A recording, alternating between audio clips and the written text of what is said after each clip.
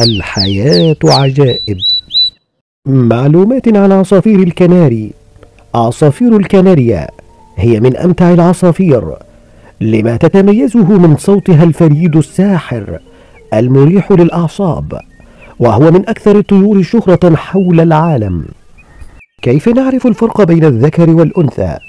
ما هو موسم تزاوج الكناري؟ ماذا تأكل الكناري؟ كم عش تضع الكناري؟ ما هو أسعار وأنواع الكناري؟ كل هذا سنتعرف عليه في هذا الفيديو فتابعونا ولا تنسوا الإعجاب والاشتراك دعما للقناة لنستمر بنشر المزيد إن شاء الله. السلام عليكم ورحمة الله وبركاته. من قناتكم الحياة عجائب. نتكلم اليوم عن طائر جميل وعصفور له صوت جميل إنه الكناري. الكناريا من العصافير الجميلة والتي تعني بالطائر الجميل المغرد صاحب الصوت الجميل. لذا يفضل كثير من الناس أن يقوموا بشراء الذكر لأن الذكر يتميز بتغريده الساحر. ولكن ماذا يأكل عصفور الكناري؟ يأكل عصفور الكناري كباقي أنواع البابغاوات والعصافير. فهو يأكل الفلارس والبلكم ويأكل الخضروات بجميع أنواعها كما أنه يأكل الفواكه كما أنه يأكل الحبوب المستنبتة وكذلك الأكل اللين. وعلى المربي أن يحذر عند تقديمه للطعام ألا يكثر من وضع الفواكه والخضروات حتى لا يصاب الطائر بالإسهال. متى يبلغ طائر الكناري؟ يبلغ طائر الكناري بعد بلوغه ثمان شهور إلى عشرة شهور وبعض الأنواع قد يصل إلى أكثر من ذلك. فقد يصل إلى سنة. لكن الغالب أن طائر وعصفور الكناري يبلغ عند ثمان شهور إلى عشرة شهور. وتبدأ الأنثى الجاهزة التي هي مستعدة لوضع البيض والتفريخ والإنتاج. ويظهر ذلك عند النفخ على بطن الأنثى. عندما تنفخ على بطنها فإنك تلاحظ اختفاء الريش في منطقة البطن. كما تلاحظ أيضا اتساع عظم الحوض مما يدل على أن هذه الأنثى جاهزة للتزاوج ولوضع البيض.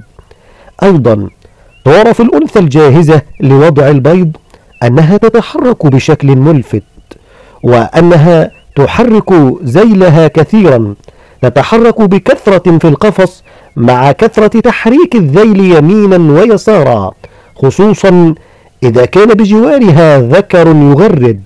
أما الذكر البالغ فإنه يعرف بقوة تغريده وتحريك أجنحته باستمرار. كذلك أيضا يعرف بظهور العضو الذكري كما هو واضح في الصورة. أما عن أنواع الكناري فإن الكناري يوجد منه أنواع كثيرة جدا منه النوع البري ومنه الكناريا الأمريكي والألماني والنوع البلجيكي والنوع الأسباني. وهناك أنواع عديدة. لعلنا أن نخصص فيديو كاملا لنتكلم عن أنواع عصفور الكناريا. ومما يتميز به طائر الكناري أنه من العصافير السهلة التي يسهل عليك معرفة الفرق بين الذكر والأنثى بعكس باقي البابغاوات والعصافير التي قد تحتاج إلى تحليل الحمض النووي. يسهل عليك رؤية العضو الذكري للذكر البالغ. كذلك يعرف الذكر بتغريده القوي. هذه الأمور تسهل عليك معرفة الفرق بين الذكر والأنثى. أما عن موسم تزاوج هذا الطائر فإنه يبدأ في الربيع من شهر ثلاثة إلى شهر خمسة أو قد يصل إلى شهر ستة. ويختلف موسم التزاوج من بلد إلى بلدة أخرى. تبعا لاختلاف البيئة وتبعا لاختلاف الظروف المناخية من بلدة إلى بلدة أخرى. ويجب أن نعلم أن العصافير في الأسر أي في القفص لا تلتزم بموسم التزاوج. فقد تبيض في أي وقت ما دام أن صاحبها وفر لها المناخ المناسب لوضع البيض. ولكن كم عش تضع عصافير الكناري في السنة الواحدة. تضع عصافير الكناريا من عشين إلى خمسة أعشاش في السنة الواحدة. والأمر يرجع إلى قوة الطائر وإلى العناصر الغذائية التي يتغذى عليها وإلى الظروف المناسبة. فقد يضع ما بين ثلاثة أعشاش إلى خمسة أعشاش أو قد يصل الأمر إلى أكثر من هذا بحسب مناعة وقوة الطائر والتغذية السليمة الجيدة وتكييف درجة الحرارة المناسبة لهذا الطائر.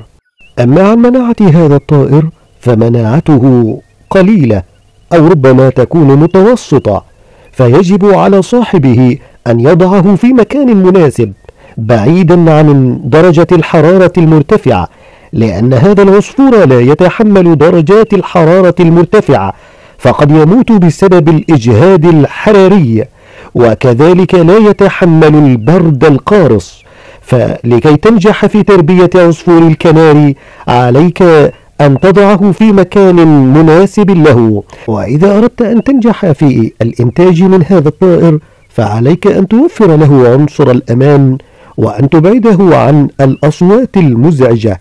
فلا ينبغي تربيته في غرفة النوم ولا في البيت بجوار الأصوات المزعجة. هذا قد يسبب له الخوف الشديد وقد يتوقف عن الإنتاج والتفريخ. ولكن كم بيضة تضع عصفور الكناري في كل عش؟ تضع عصفور الكناري أو تضع أنثى الكناري من بيضتين إلى خمس بيضات. وقد تصل إلى ست بيضات كحد أقصى. والغالب أن أنثى الكناري تضع ثلاث بيضات.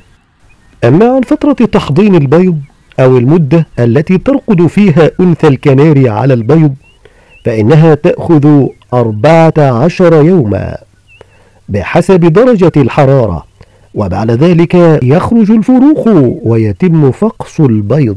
أما عن مدة فطام الفروخ الصغيرة فإنها تفطم بعد شهر واحد أو بعد أربع وعشرين يوما وبعض الأنواع قد يصل إلى سبع وثلاثين يوما وبعد ذلك تعتمد الفروخ الصغيرة على إطعام نفسها وتصبح مستقلة ويتم فصلها عن أمها لكي يبدأ عشا جديدا.